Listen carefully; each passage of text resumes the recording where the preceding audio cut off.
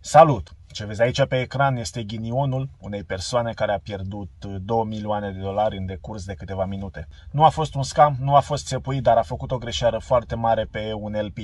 Hai să vă arăt imediat cum a pierdut banii. Deci în primă fază totul s-a întâmplat în perioada aia când USDC era foarte instabil și omul a vrut să iasă dintr-un LP, a vrut să o facă foarte rapid și nu a avut răbdare să plătească comisionul de 6%, deci la 2 milioane de dolari a fi plătit un comision de aproximativ 120.000 uh, de dolari, s-a calicit puțin și a încercat să găsească altă metodă, a încercat să găsească o alternativă, a zis că păcălește el sistemul într-un fel și în loc să retragă acei tokeni în loc să iasă din acel LP, a preferat să încerce un trade. Într-un fel a trimis conținutul acelui LP pe Kyberswap și a încercat să schimbe, să tranzacționeze conținutul acelui LP în loc să iasă frumos, cum să iese natural dintr-un LP, al fi plătit acea, acel comision de 6%, acel slippage de 6%, dar nu. El a zis că încearcă să păcălească sistemul, a făcut el o manevră și după aceea ce s-a întâmplat a fost dezastrul.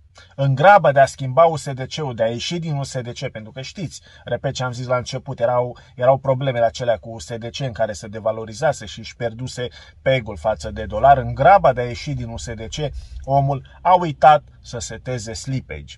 Iar acesta automat a fost setat la 99,9%. Fără să mai stea pe gânduri, a apăsat butonul de swap și în momentul ăla s-a produs dezastru. 3 minute mai târziu, când i-au venit tokenii în wallet, a mai primit 5 cenți. Din 2 milioane de dolari a mai primit 5 cenți datorită faptului că din grabă a omis să seteze un slippage corect.